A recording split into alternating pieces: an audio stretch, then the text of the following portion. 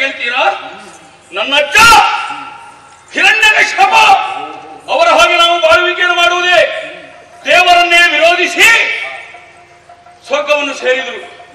ನನ್ನ ಸಣ್ಣ ಅಜ್ಜ ಹಿರಣ್ಯಾಕ್ಷ ಅವರದ್ದಾದಂತಹ ಸಾಧನೆ ಮೂಲಕವಾಗಿ ಪ್ರಪಂಚದಲ್ಲಿ ಕೀರ್ತಿಯನ್ನು ಸಂಪಾದಿಸಬೇಕು ಅಂತ ಹೊರಟ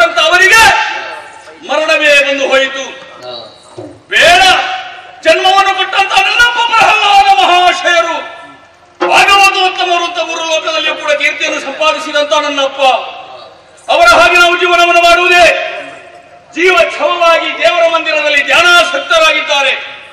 ಹಾಗಿದ್ರೆ ಹೇಗೆ ಜೀವನವನ್ನು ನಡೆಸಬಹುದು ಹೀಗೆ ಯೋಚನೆಯನ್ನು ಮಾಡುತ್ತಲೇ ಕಾಲವನ್ನು ಕಳೆದು ಹೋಯಿತು.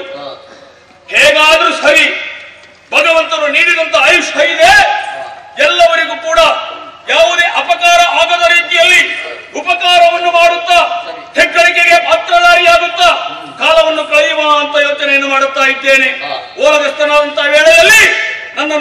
ನೋಡುವುದಕ್ಕೆ ಯಾರೋ ಬಂದಿದ್ದಾರಂತೆ? ಬರಲಿ.